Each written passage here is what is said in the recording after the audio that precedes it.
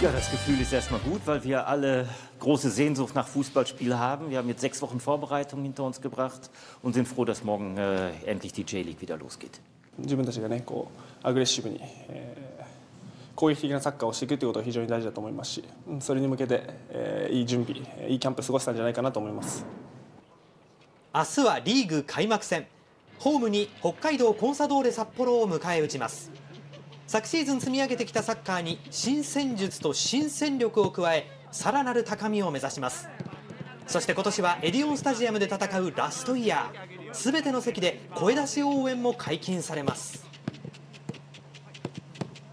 あれほど力になることはないですし、そして、えー今年はこのスタジアムがねラストイヤーということで、まあ、非常に寂しいですけども、うんえー感謝を込めて、そしてこのピッチで戦えるのがね今年最後っていうのをしっかりとかみしめながら、いい試合、えーいい期間残せればいいかなと思います。もちろんね目指すところはタイトルですし、またユニフォームに1つ、2つ、え3つ星を増やしたいなと思います。ただやはり一戦一戦、えー結果を出していかないと、うんまあそういった景色が見えてこれないと思うので。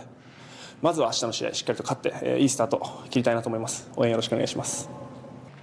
そしてプロ2年目を迎える満田誠選手装いも新たにゴールへの思いを高めています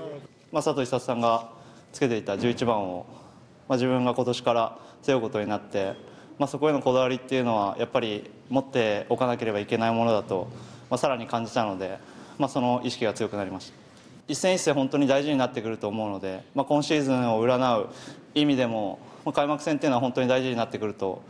思うので明日しっかりとチーム全員で勝ち点3を取れればいいのかなと思います。